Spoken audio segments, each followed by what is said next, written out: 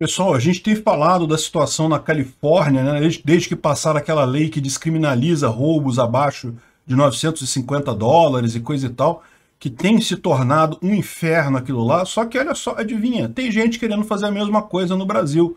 A deputada Talíria Peroni está querendo propor justamente a descriminalização do furto por necessidade e do furto insignificante ou furto famélico como eles chamam aqui. Vamos entender esses conceitos e o que, que, que pode acontecer com isso, né? Essa notícia foi sugerida pelo Carlos. Obrigado ao Carlos que sugeriu a notícia. Obrigado a você que está assistindo o nosso vídeo. Se você gosta do nosso conteúdo, por favor, deixe o seu like, se inscreva aqui no canal, né? Pois bem, o que, que acontece? O que, que é o furto famélico? Isso é uma coisa que já é reconhecido no ordenamento jurídico brasileiro, tá? Já existe o princípio da bagatela, o princípio da insignificância, que é justamente quando você vê que o cara roubou, mas roubou por um detalhezinho, coisa, ah, foi pouca coisa, não sei o que lá, roubou porque estava com fome. É, você, o juiz pode determinar que o cara não vai ser penalizado por isso, em função do princípio da bagatela, tá? Mas veja, existe uma diferença aqui. O cara teve dor de cabeça, ele foi intimado, ele foi na delegacia, ele teve que responder processo. Ok, chegou lá no final, o juiz virou para ele e falou: É, realmente eu não vou te prender, porque, pô, tu roubou um sabonete na, sei lá onde, não vale a pena. Mas o cara teve um monte de dor de cabeça, entendeu? Não é. O que eles estão propondo aqui é um outro patamar totalmente novo. É um patamar de, olha só, o cara nem pode ser preso, ele nem pode ser é, é, fichado, colocado, aberto processo contra ele, nem isso, está descriminalizado. Então, isso é um problema, realmente, é o problema que está acontecendo lá na, é, na Califórnia. Inclusive, outro ponto que tem lá, que também é muito criticado nesse projeto lá da Califórnia, foi justamente o fato de que eles estabeleceram um valor. Então, é, qualquer coisa roubada abaixo de 950 dólares, olha só, 950 dólares pode até ser pouca coisa lá para os Estados Unidos, mas aqui para o Brasil, faz a conta aí quanto é que dá isso aí em, em reais. Isso daí dá mais de 5 mil reais, pô.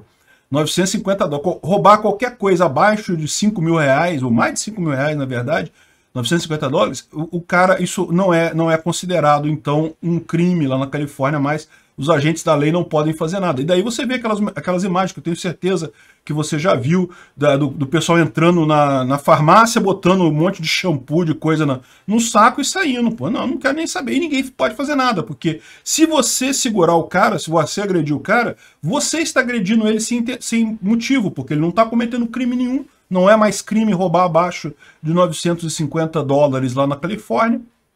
Então, realmente ficou uma situação complicada por lá e a coisa está desdobrando. Chegou ao ponto do pessoal agora, a gente falou sobre isso ontem, está deixando os carros abertos, porque os mendigos começavam a quebrar o carro, o vidro do carro, para ver se tinha laptop no porta-mala. Ah, você fala, poxa, mas a chance é pequena. É, a chance é pequena, mas eles saíram quebrando 50 carros, 60 carros. É, ou seja, e aí o, o, dono do carro fica com prejuízo, né? E por que, que os mendigos faziam isso? Porque eles sabem que agora que tem toda essa vantagem para o pessoal lá, eles não vão ser presos mesmo, ninguém vai incomodar eles ali, então eles saem quebrando, eles têm o dia inteiro mesmo para não fazer nada, ficavam quebrando os vidros do carro para abrir o porta-mala e, e, eventualmente roubar um notebook que estivesse ali, né? Enfim, é realmente uma coisa complicada esse tipo de descriminalização. E veja, eu sou totalmente favorável a não ter, não, não ter nenhuma legislação, nenhuma proibição quanto às drogas. Eu acho que droga é direito da pessoa. Se ela quer. Veja, eu não sou favorável às drogas, eu sou contrário às drogas. Eu acho que ninguém deve usar drogas. Mas, se a pessoa vai fazer isso sem agredir a propriedade de ninguém, sem incomodar as outras pessoas, é direito dela, o corpo é dela, ela faz o que ela quiser com o corpo dela. E da mesma forma, quem quiser comprar e vender de forma voluntária, sem estar obrigando ninguém a, a consumir a droga, é direito da pessoa comprar e vender o que ela quiser. Então, eu sou totalmente favorável a isso. Agora, este caso aqui me parece terrível. Por quê? Porque é, qualquer furto, mesmo pequeno, é uma agressão à propriedade privada. Na ética libertária, você tem o direito de processar aquela pessoa, de requerer indenização daquela pessoa que roubou você, mesmo que seja um valor pequeno. Ah, mas então não haveria o caso, o furto famélico, tadinho, o cara tá morrendo de fome, roubou um pão na padaria. Meu amigo, o dono da padaria pode, se ele achar eh, conveniente, realmente ignorar isso daí. Você não é obrigado a usar violência contra quem agride a sua propriedade. Você pode aceitar aquilo. Ah, não, foi só um pão, o cara estava passando fome, era para dar o pão para a filhinha dele, deixa ali. Não... Agora, o que você não pode é admitir isso como não crime, é tirar isso da questão penal. Isso é um risco enorme, porque isso leva, como a gente está vendo lá na Califórnia, a uma confusão generalizada. As pessoas começam a usar isso como normal, virou normal, você, é, acabou com a propriedade privada no final das contas. Então, realmente é uma situação bastante complicada. Eu, isso é coisa, aqueles projetos do pessoal, eu acho que isso daqui não vai ter futuro, não deve passar. Mas olha, que estão tentando, estão. O pessoal aqui quer transformar a gente na Califórnia, não no bom sentido.